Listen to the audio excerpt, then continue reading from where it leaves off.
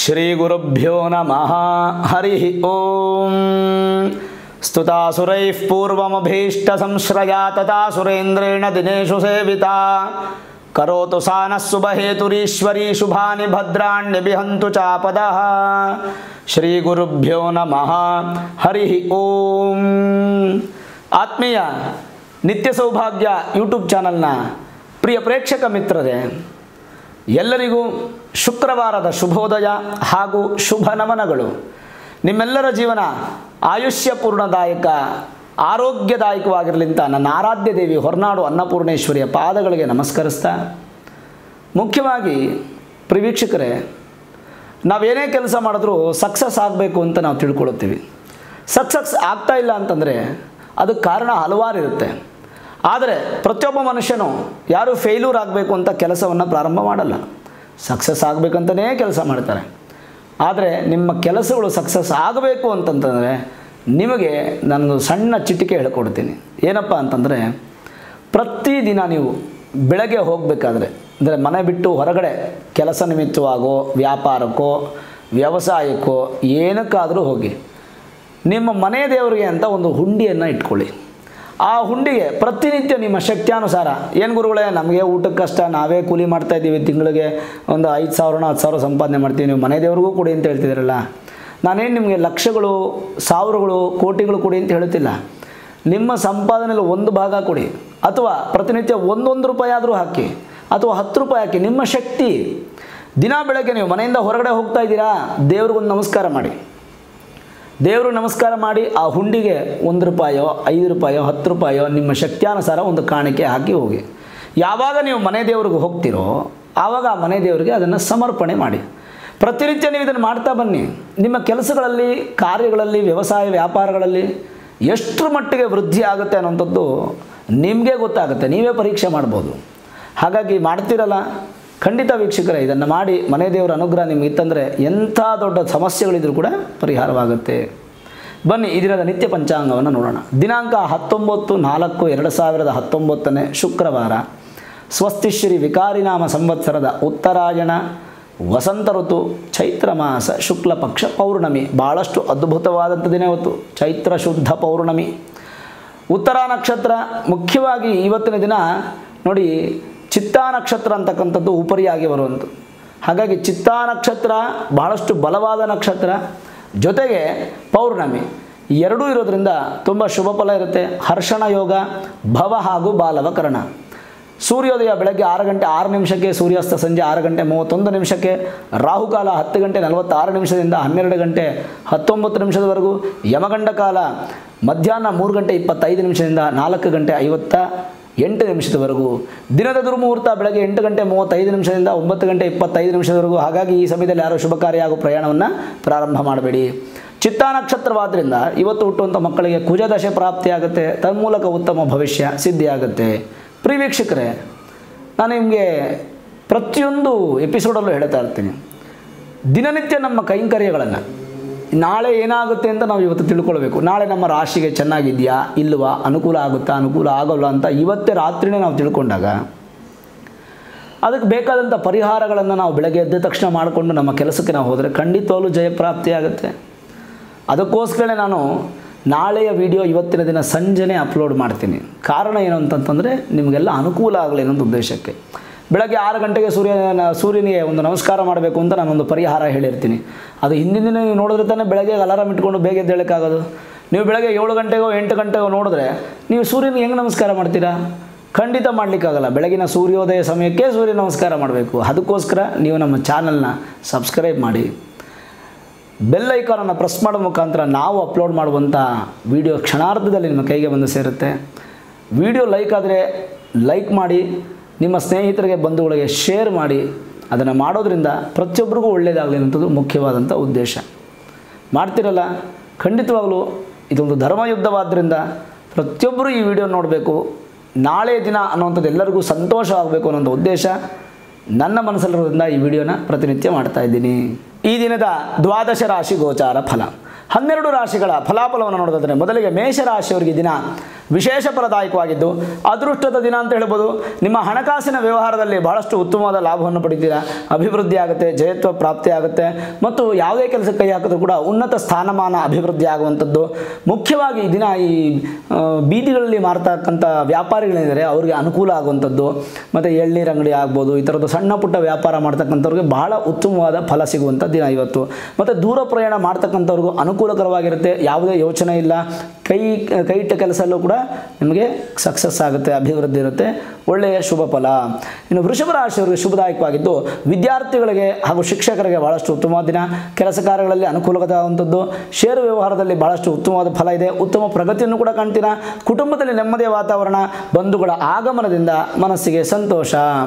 ಮಿಥುನ ರಾಶಿಯವರಿಗೆ ಲಾಭದಾಯಕವಾಗಿದ್ದು ಅನಿರೀಕ್ಷಿತವಾಗಿ ಧನಲಾಭ ಪ್ರಾಪ್ತಿ, ಪ್ರಯಾಣ ಸಾಧ್ಯತೆ, ಪುಣ್ಯಕ್ಷೇತ್ರಗಳ ದರ್ಶನ ನಿಮಿತ್ತವಾಗಿ ಮನಸ್ಸಲ್ಲಿ ಯೋಚನೆ ಮಾಡುವಂಥದ್ದು, ವಿದೇಶಿ ಪ್ರಯಾಣದ ಬಗ್ಗೆ ಆಲೋಚನೆ ಮಾಡುವಂಥದ್ದು, ಅದೆಲ್ಲ ಕೂಡ ಜಯ ಪ್ರಾಪ್ತಿಯಾಗುತ್ತೆ ಮಾನಸಿಕವಾಗಿ ಹಾಗೂ ದೈಹಿಕವಾಗಿ ಬಲವಾಗಿ ಮಾರ್ಪಾಟಾಗುತ್ತೆ ಅಂತಂದರೆ ನಿಮಗೆ ಆರೋಗ್ಯ ವೃದ್ಧಿ ಆಗುತ್ತೆ.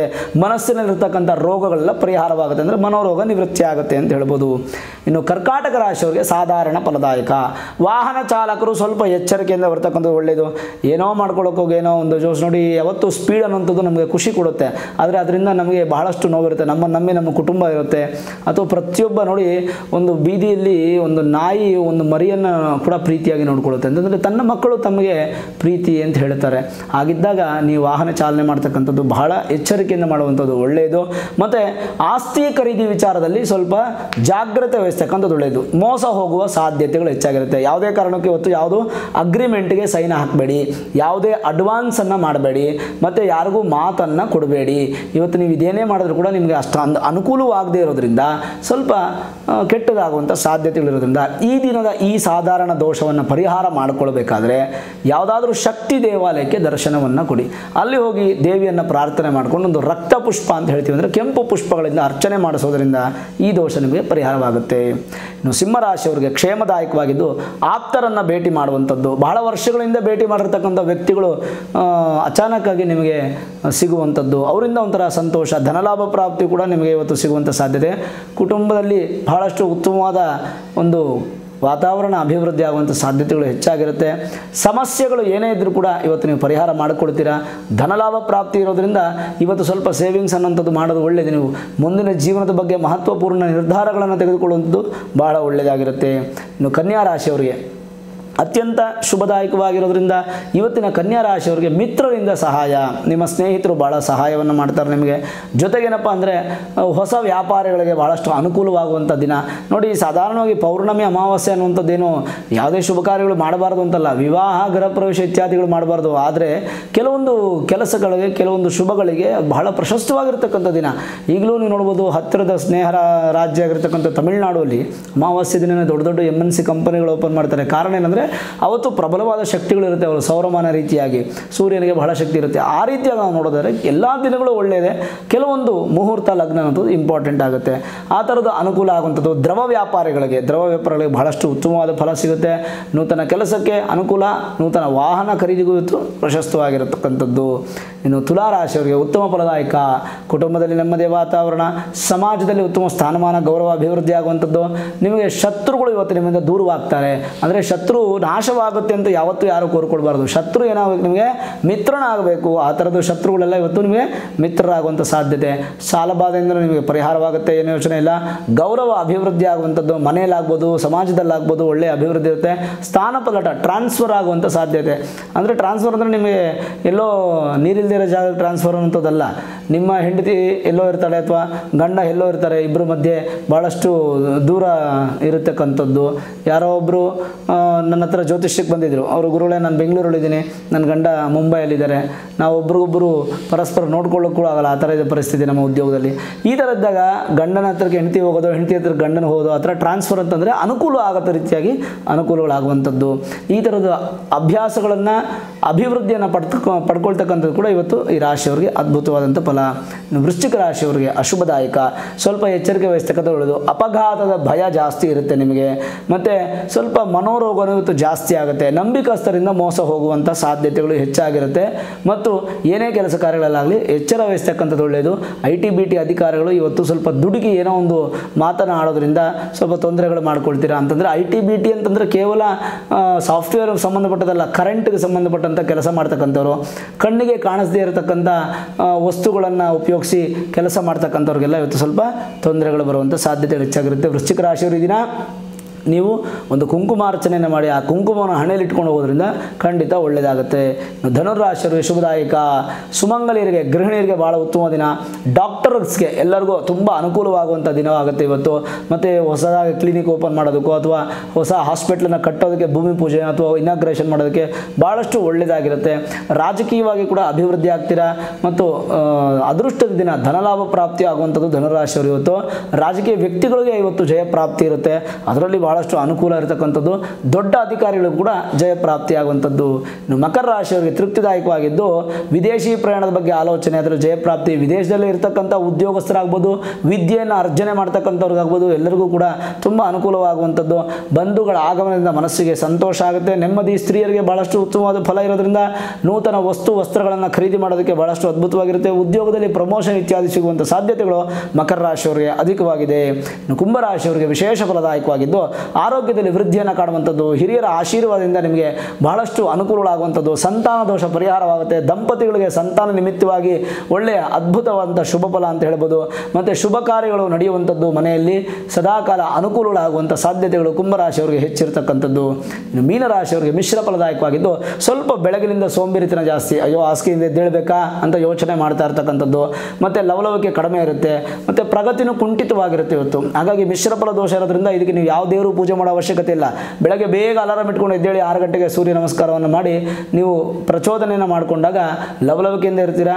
ನಿಮ್ಮ ಕೆಲಸ ಕಾರ್ಯಗಳು ನಿಧಾನವಾಗುವಂಥದ್ದು ಶೀಘ್ರವಾಗುತ್ತೆ ಭಾಳಷ್ಟು ಅನುಕೂಲವಾಗುವಂಥ ದಿನವಾಗಿರುತ್ತೆ ಮೀನರಾಶಿಯವರು ಇದರ ಜೊತೆಗೆ ಮೀನರಾಶಿಯವ್ರಿಗೆ ಇನ್ನೊಂದು ಉತ್ತಮವಾದ ಫಲ ಏನಪ್ಪ ಅಂತಂದರೆ ಮಿಶ್ರ ಫಲದಲ್ಲೂ ಒಂದು ಉತ್ತಮ ಏನಂದರೆ ಸಂಜೆ ಆರು ಗಂಟೆ ನಂತರ ಏನಾದರೂ ಡಿಸಿಷನ್ ತೊಗೊಳ್ಬೇಕಾದ್ರೆ ಇವತ್ತು ತೊಗೊಳ್ಳಿ. ತುಂಬ ಒಳ್ಳೆಯದಾಗುತ್ತೆ ಯಾಕೆಂತಂದರೆ ಮೀನ ರಾಶಿಯವ್ರಿಗೆ ಅದ್ಭುತವಾದಂಥ ಫಲ ಇವತ್ತು ಸಿಗುವಂಥದ್ದು ಇದಾಗಿತ್ತು ಈ ದಿನದ ದ್ವಾದಶ ರಾಶಿ ಗೋಚಾರ ಫಲ. ಪ್ರಿಯ ವೀಕ್ಷಕರೇ, ಮತ್ತೊಮ್ಮೆ ನಿಮ್ಮ ಜೀವನ ಸುಖಮಯವಾಗಿರಲಿ ಅಂತ ನನ್ನ ಆರಾಧ್ಯ ದೇವಿ ಹೊರನಾಡು ಅನ್ನಪೂರ್ಣೇಶ್ವರಿಯ ಪಾದಗಳಿಗೆ ನಮಸ್ಕರಿಸ್ತಾ, ಸರ್ವೇ ಜನಾ ಸುಖಿನೋ ಭವಂತು, ಸಮಸ್ತ ಸನ್ಮಂಗಳಾನಿ ಭವಂತು.